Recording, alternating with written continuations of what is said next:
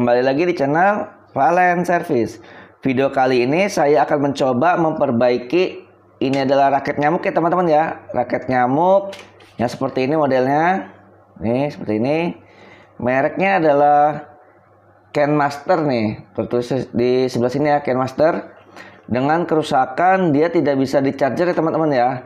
Ini kalau tidak bisa di charger, fungsinya tidak bisa dipakai sama sekali ya. Mau buat raket nyamuk ataupun untuk center. Nah, di sini ada tombol on off untuk uh, raket nyamuknya dan untuk center ya teman-teman di sebelah sini. Ini tombol untuk setrumnya. Nah, ini untuk lampu indikator buat charger ya teman-teman ya. Dan satu lagi ya, ini adalah lampu ultraviolet untuk menandakan kalau dia tuh nyala ya. Nyala berarti raket nyamuknya ikut nyala. Nah, seperti itu. Kita coba untuk di charger. Di sini tulisannya uh, recharger ya teman-teman ya.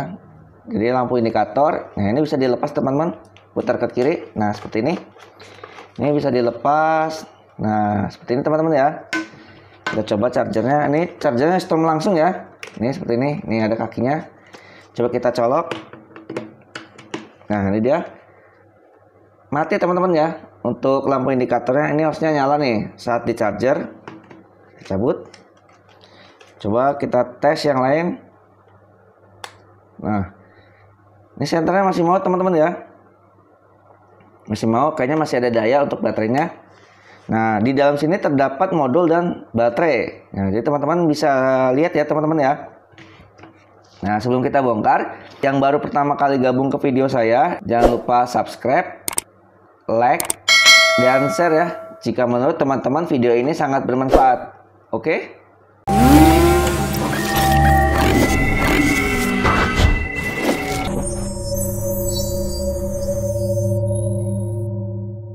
Okay? Kita mulai teman-teman ya. Di sini ada dua baut bisa teman-teman lepas ya dengan menggunakan obeng plus kecil. Ini seperti ini obeng kecilnya. Nih. Oke, kita lepas dulu.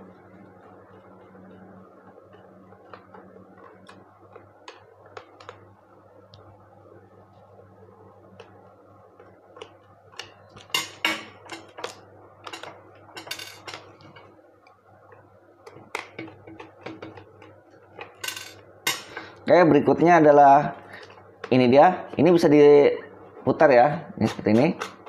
Untuk lampu senternya. Nah, ini bisa terlepas ya. Nah, berikutnya adalah tinggal dibelah aja teman-teman ya. Bautnya kan sudah habis ya. Tinggal dibelah seperti ini. Nih. Nah, ini bagian tombolnya sudah terlepas. Nah, untuk bagian dalamnya seperti ini teman-teman ya. Dan teman-teman bisa lihat di dalam sini baterainya ternyata pecah nih seperti ini ya pecah ya. Dan coba kita cek ini untuk kapasitornya ya. Di 105J 400 volt. Seperti ini kapasitornya diodanya in 1007 ya standar. Ini saklarnya. Coba kita bongkar ya. Ini baterainya pasti ganti nggak ada keterangan ya 4 volt lah ini mah baterainya 4 volt kita lepas ini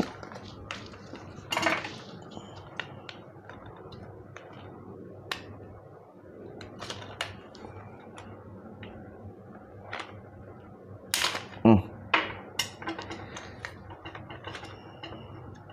Oh ternyata kabelnya putus ya teman-teman ya Nih, bisa dilihat. Nih kabelnya putus. Nah, teman-teman bisa lihat ya. Nih sebelah sini nih, ini kakinya ya. Ini kaki buat chargernya dan ini kabelnya terlepas. Kayaknya gara-gara ini ya. Nah, ini dia. Ini potongan kakinya kayaknya kesenggol nih. Kayak posisi solder salah dia dari sananya ya. Harusnya rada ke kiri bukan di depan sini jadi kan pasti tekuk lepas dia nah, seperti itu nanti kita akan solder ulang untuk modulnya ternyata nggak banyak ya teman-teman ya. Ini bawahnya kagak ada cuma bagian ini saja ya. Resistor dioda sama kapasitor seperti ini. Ini doang isinya ya. Soket baterai saklar. Ini untuk ke raketnya lampu indikator switch. Oke ini tinggal kita pasang kabel yang ke sini dan ganti baterainya. Untuk baterainya saya sudah ada ya saya stok ready ready barang. Ya nggak banyak ya. Ada dua piece ya seperti ini.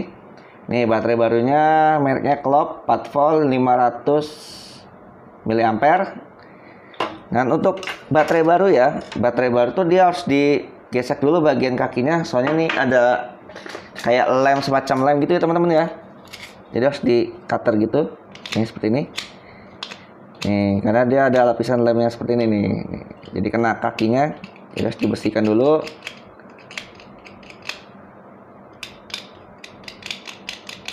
Ini karena ini benar-benar masih baru teman-teman ya. Nah bisa dicek untuk voltasenya. Kita cek dulu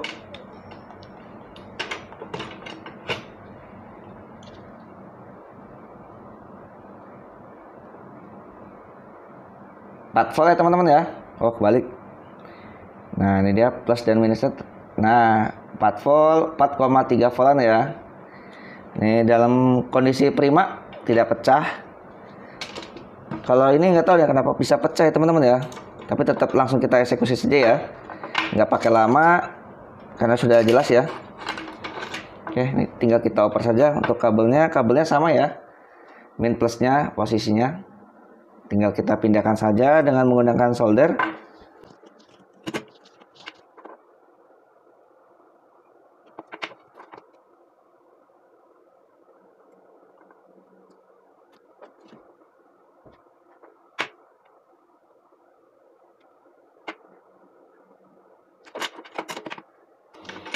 Oke teman-teman sudah saya pasang min plusnya jangan sampai terbalik ya untuk pemasangannya sekarang kita coba.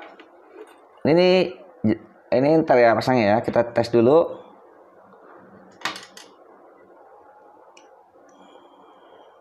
Oke sudah terpasang. Kita tes. Arusnya ya kita masuk lihat senternya nyala atau tidaknya ya. Nah terang nih teman-teman. Nih ada arusnya ya. Nah untuk pengecekan ini ini harus dipasang ke sini dulu nih biar ada lampu indikator yang ketahuan. Jadi kita mau nggak mau kita apa ya kita rapikan saja dulu ya. Kita rapikan kita pasang kabelnya terlebih dahulu.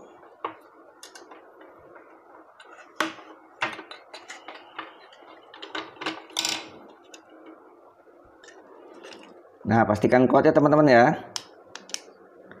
Nah ini tidak terganggu ya. Cocok memasangnya di samping tidak di depannya. Aman lah ya. Nah, kita rakit saja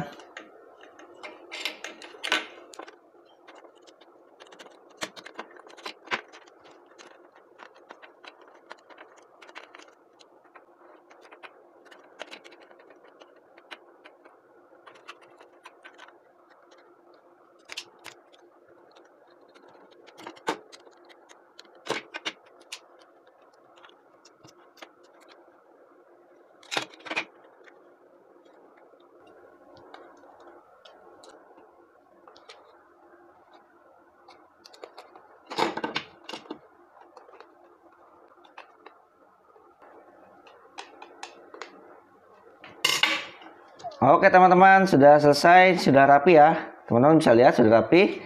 Untuk center nah oke okay ya. Seperti ini untuk senternya. Dan untuk uh, raket nyamuknya nih saya nyalakan ke atas. Tuh tidak ada ini ya indikator-indikator yang nyala ya. Ini kan karena ini buat charger coba kita tes chargernya. Apakah sudah bisa atau belum Nah, ini bisa ya teman-teman ya. Tuh, indikatornya menyala merah berarti dia sedang mencharger. Oke, tidak kedip-kedip ya, standby dia. Tuh, mantap. Dan untuk raket nyamuknya, nah kita coba untuk raket nyamuknya. Nah, kita pencet.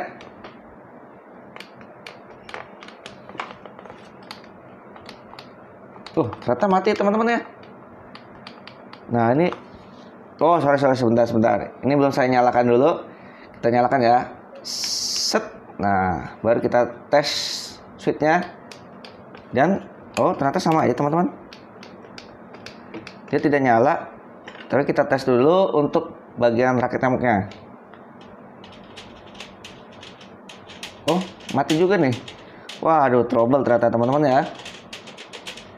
Ini trouble nih.